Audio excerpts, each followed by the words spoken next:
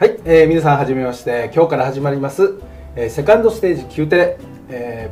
ー、番組のですね進行マスター役の Q 太郎でございます。どうぞよろしくお願いします。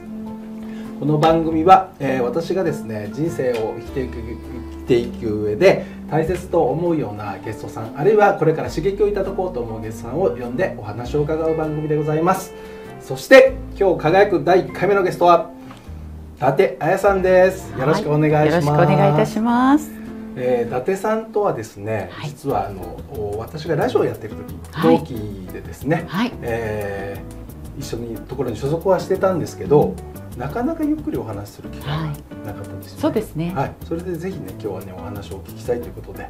ろしくお願いします。よろしくお願いいたします。じゃあ早速ですけど伊達さん、はい、えー、まずは自己紹介をお願いしてよろしいですか？はい。えー、私の名前は伊達彩と申します、えー、野号はですねおかみ心研究所と申します、はい、えー、2013年に、えー、設立をいたしましたので、はい、まあもう10年過ぎてしまいました。はい。ありがとうございます。まああの前職は以前はですね私、はい、あの長崎県のですね佐世保市にあります、ハウステンボスの、はい、えー、ホテルのオープニングスタッフとして16年間勤務をした後、福岡の飲食店などですね、えー、日本本料理店でお上の経験を生かしながら、えー、起業をいたしました。はい、はい、えー、今現在は主に、えー、まあ、経営のコンサルティングという人材育成のコンサルティングですね、はい、それから、えー、ワンオンワンの、えー企業さん向けのコーチングなど。をさせていただいております。よろしくお願いいたします。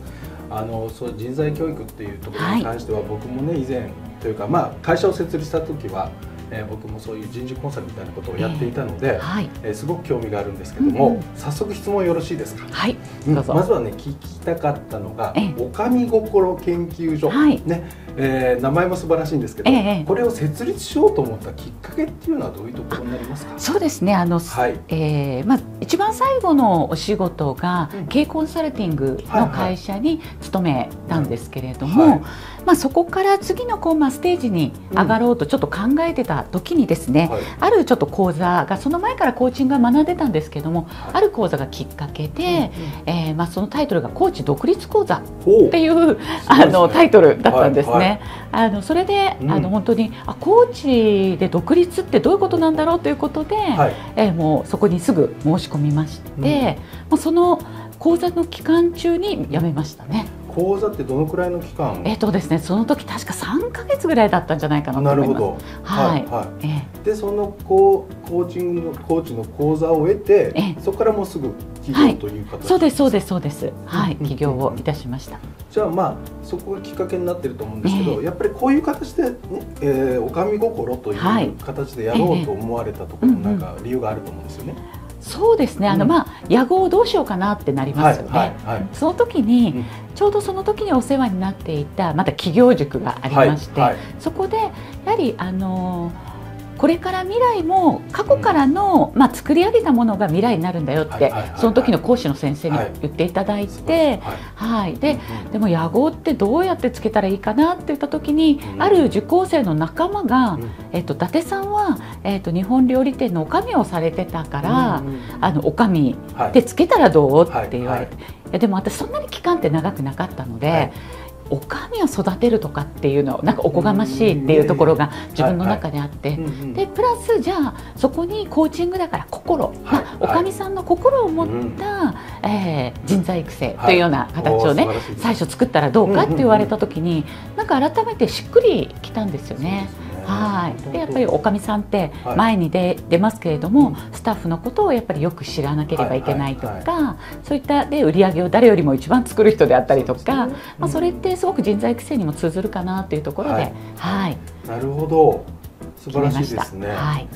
でさっきコーチっていう話もあったんですけど伊達さんの肩書きを僕拝見してた時ですね、ええちょっと面白い先ほどの自己紹介のことやって聞いてないんですけど、面白いもの国際コーチング連盟、はい、 Associate Certified Coach、ええ、こうすごく横文字がね あって私横文字弱いので、はいこれは何だと、はい。はい、いうところちょっと疑問を持ったんですけど、教えてもらっていいですか、はい。これはですね、うん、ちょっとあのホームページとかにも載ってあるんですけれども、はい、あの1995年設立で非営利、えー、組織なんですね。はい、で4万1500人ぐらいかな？この2021年のデータなのでちょっともう少し増えてると思うんですけれども、要はそういう会員がいるあの世界のコーチングの専門の機関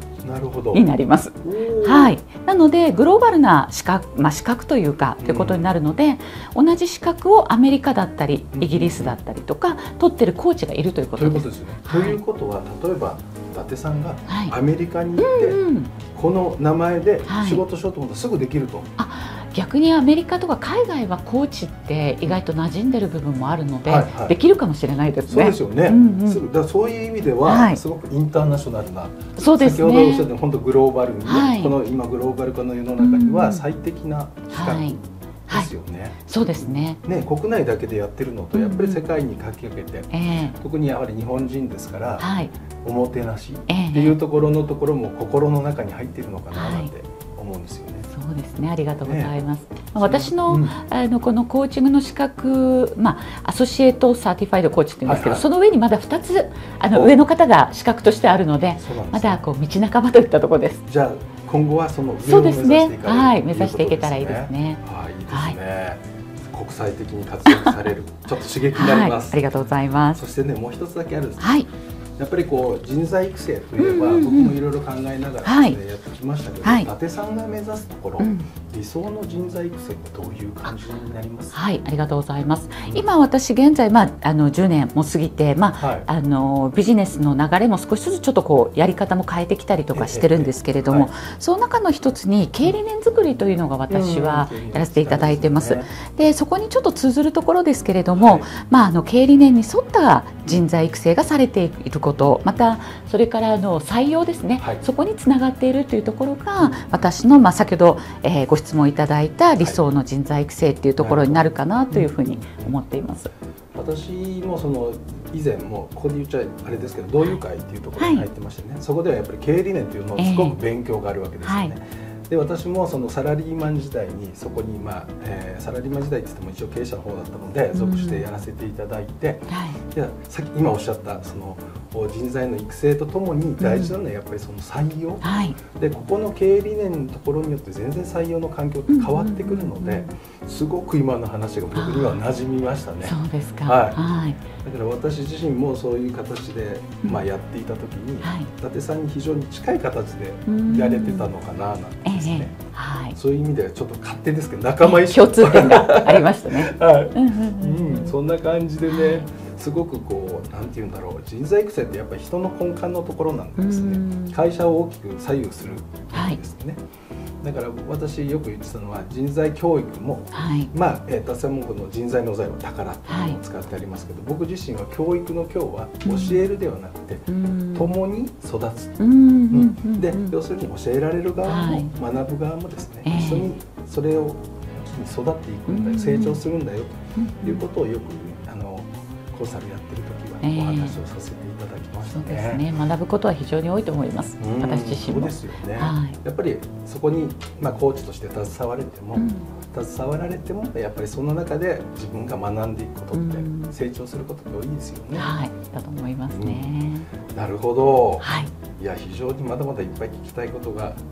あるところではあるんですけどね、はい、じゃあそうだな。なんか伊達さんの方からはい、僕の方にも若干質問をもらってみちゃったりなんかしましょうかね。はいわかりました、はい、じゃあえっ、ー、とご質問させてい。ただきたい。はい、あ怖いな。はい。と思います。はい、はい、えっ、ー、と自己紹介とかって自己紹介。自己紹介まずされます、ね、なんか先ほどされてなかったですよね。はい、はい、えっ、ー、とじゃあ改めてですね、はい、えー、まあ一応こういう番組では、うん、えっ、ー、と尾形九太郎という形でやらせていただいております。よろしくお願いします。お願いします。で現在ですね私もそのえっ、ー、と2019年の11月に起業しまして、うん、オブジェクティブビューという会社を持ってます、はい、でもともとその人事コンサルみたいなことからスタートしてはい。るんですが、はい、まあいろんなねコロナ禍だとかなんとかを得て昨年からですねまるっきり違うことを始めましたで現状は、えー、車屋さん、うん、えー、自動車販売業の方と、えー、それと6月から始めたカフェ、ラパンというところでのですね、はい、マスターを今やらせていただいて、えー、いう形が今の現状でございます。なんですね、はい、はい、ありがとうございます。今ね、あのー、ご自己紹介の中にもありましたけれども、はい、この今回あの今日が最初のスタートのこの番組だということでお伺いしましたけれども、はい。はい。ね、このかあの番組名のね、はい、冠にあるセカンドステージ、うん、この由来ちょっと教えていただけますか？あのセカンドステージは実はその、うん、自動車屋さんの屋号としてもすでに今使ってるんですね。ええ、でそこがもともとのスタートになるんですが。うんえー、もともとセカンドステージというのを決めたのが、はい、僕が使っているのは主に中古車なんです、うん、で車の人生じゃないですけど、はい、それぞれ流れがあって、うん、前のオーナーさんから次のオーナーさんというところの橋渡しを今させていただいてますけど、まあ、車もやっぱり自分の気持ちみたいなのが、ね、大切にしてくださる方とそうでない方によってやっぱり、うん、なんていうのかなおとなしく走ってくれたり、はい、え危険なものになったりということがあるんですね。でまあ、そういうところで、えー、私はいいオーナーさんにいい状態でつなげたいという思いがあって、えー、車の第二の人生というところからセカンドステージはスタートしてるんですが、まあそれだけではなくてですね実は私自身も長年そのサラリーマン形でね、えー、宮遣いをしてきたわけですけど、えー、2019年から独立して今、はい、えー、一人でねこういう形で頑張ってる。っていうところで私の人生もセカンドステージに入ってます、プライベートでも離婚あって、独身2回目というところでのセカンドステージもありますよ、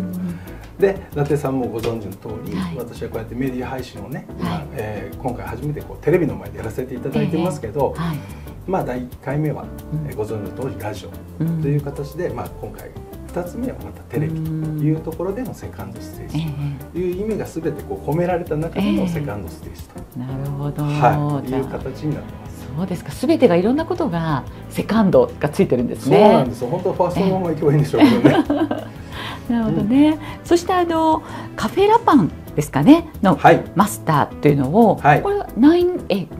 月曜日週どうどういう感じでやってらっしゃるんですか？えっ、とカフェラパン、すみません、ね、カフェラパンは、えー、今平日の、うん、えー、火曜日お休みさせてもらってますけど、えー、月曜水曜木曜金曜週4日やらせていただいてます。でまあ土日に関してはもともとやられてオーナーさんがね、うん、担当されているんですけども、はい、うん、そんな中でやっぱりそのカフェラパンっていうのがすごく僕にとっては魅力的な今スペースになってるんですね。はい、うんでもともとじゃあなぜそういう話になった？の、なぜ始めたの、ねはい、いう多分そう聞かれるかなと思ったんですけどもともと始めたきっかけっていうのが、えーと、起業をする時に、まあ、中古車もしたいっていうことを定価の中にも入れておきながらなかなかできてなかったんですけど、はい、えー、中古車をやるにあたって商店街の中にカフェを設けてその中に1台を置いて、今までにない状態でやろうと思って、はい、でそこには、えー、スタジオも作ってなんていう構想が頭にあったんですけど。えーなかなかねそれがこう実現しないまま来ていて、で去年からその自分の思いに忠実にやっていこうということで始めた車屋さんがあり、で今回そのカフェに関しては、はい、まあ知り合いの写真家さんが、まあえー、個展をしたいっていう話をお正月明けかな伺って、はい、じゃあこういうカフェがありますというイメージがあったんですね。はい、でそこでまあ実際にお話しさせていただいて4月にその方がそこで個展をされたんです。はい。ただオーナーさんが、まあ、土曜日日曜日それから平日木曜日の短い時間しか、うん、夕方の短い時間しかもともと営業されてないので、えー、じゃあそれじゃあ見に来ていただけないですよね、はい、っていうことになり、えー、じゃあ平日開けましょうかってなった時に、えー、やっぱり一人じゃ難しい、うん、じゃあお手伝いできる範囲はやりますということで、うん、お手伝いをさせていただいたのがそもそもの機会なんです。そうなんですか、はい、でその時にまあオーナーさんがお声かけてくださって。よかったら、えー、そのまま平日やりませんか、ということで、まあ、ちょっとためらいはあったもののですね、はい、自分の思いでもともとあったこともあるし、えー、まあ、その方が背中を押してくれたこともあるし、でこんなたくさんの方が応援してくれてるんであれば、うん、ぜひここで挑戦しようということで始めた、なるほど。というのが6月からですね。そうなんですね、はい、ちなみに6月からだったら、はい、今もう3か月ぐらい、まだ2か月ですね、うん、どうですか？いやおかげさまでですね、うん、すごく理想のものが出来上がっています。はいはい、あのお店がですねもともとその思いの中にこういうお店を作ろうと思ったのがまずコミュニティスペースとして活動できるところ、はい、それからまあ実際自分が背中を押してもらって、そこで自分の思いをですね実現できている。たくさんの応援をいただきながら今やれてるんですが。だからそういう初めてなんかこういうことにチャレンジしたいと思っている方たちの背中を押せるスペースになれたらいいなと。いうことで、まあ、今イベントをやれたりっていう形で貸し出しもできるようになってますが、例えば伊達さんがセミナーをしようと思った時に経験がない時に、えお金を払って、場所を借りたのに人が集まらなかったらどうしようとか思ったら二の足を踏みますよね。でそういう方たちのために、まあ、無料で使っていただきながらチャレンジしてもらうと、はい、で集客に関しては一緒にお手伝いしながらやっていこうと。だから徐々にそこでその方たちも慣れていただいて、えー、ここから育っていただくという意味で、えー、僕らが、えーまあ、私自身がここで背中を押していただいたものを、はい、そういう方たちにも解消していこうという場所として今、はい、やっていてその思いがなんかうまい形で今流れてます。はい、えー、嬉しいんですけどね。なんかそのカフェっていうだけ以外の、はい、あのこともやられてるってことなんですね。すね。もうカフェどの効能というよりもそっちの方の思いの方が強いですね。だからまあカフェっていうのはその明らかきっかけであってそこにまず来ていただくためのきっかけであり、はい、知っていただくきっかけである。ええだからなんかそこで商売系を持ってやってるわけ実はなくて、えー、そういう意味ではどうなんでしょうって言言わざるを得ないところもね、あるかもしれませんけど、はい、まあ本来の目的はそこそこでお金を儲けようとかでなくて、うんうん、人が育っていったらいいなと。いうとこ貢献できたらいいな応援でできるところがあったらいいなっていうとかきっかけなので、まあ、今はそのもうそれそのもの思い自体が実現できてきているかなっていうふうな印象。なるほどですね、はい、なんか先ほど貢献っていうお話もありましたけれども、はい、まああの今後のその未来というか、はい、はい、どういった未来を作っていきたいなっていうふうに思われますか？やっぱりその先ほどもちょっと申し上げましたけどね、えー、最初起業するときに、え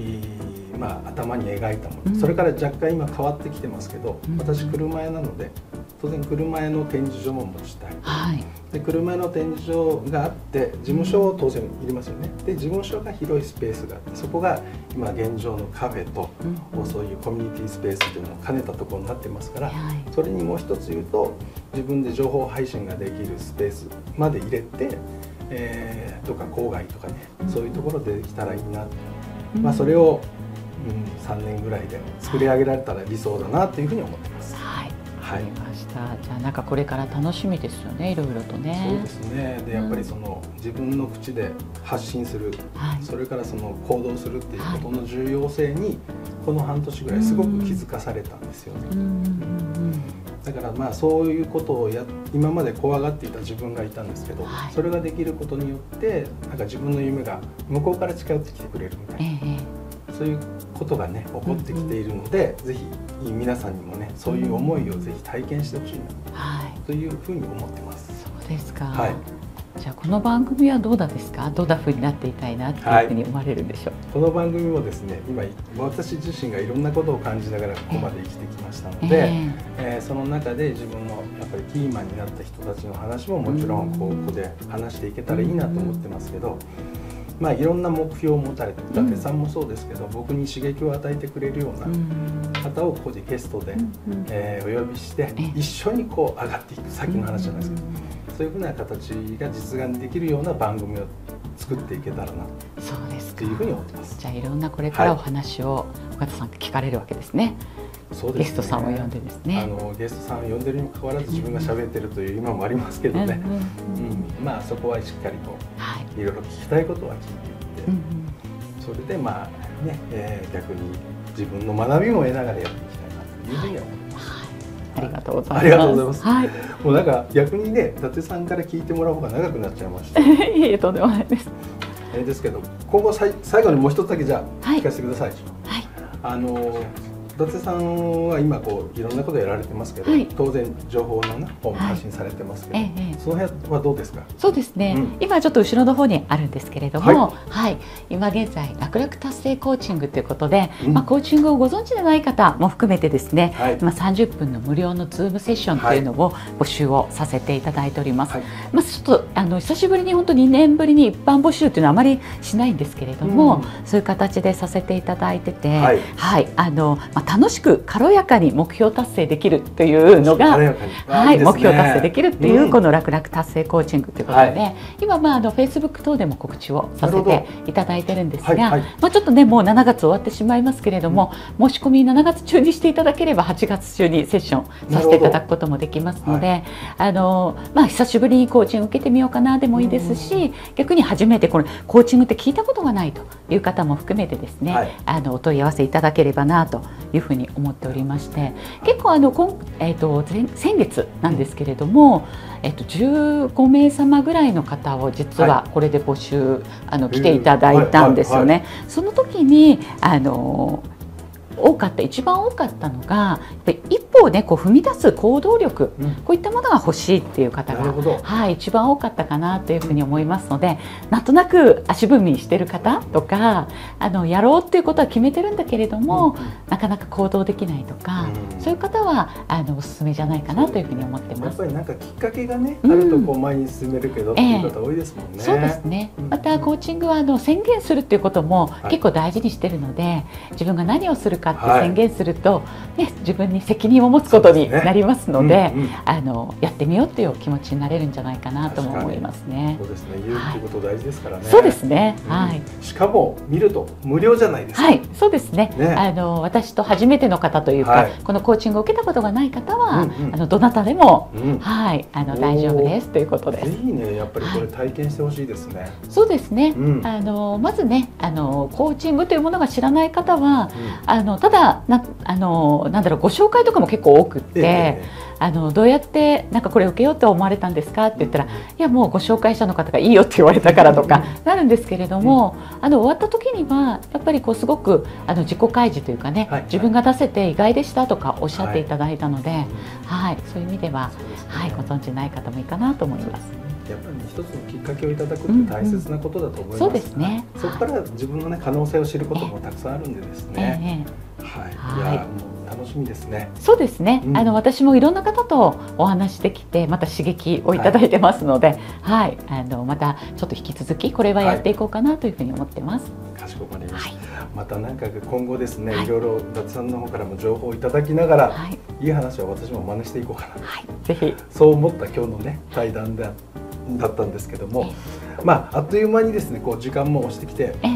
なんか聞きたいことはまだまだいっぱいあるんですけど、また機会があったら来ていただけますでしょうか？はい、もちろんありがとうございます。はい、ありがとうございます。ということで、えー、第1回目のですね、えー、セカンドステージはこの辺で、えー、終わりにしたいと思います。どうもありがとうございました。ありがとうございました。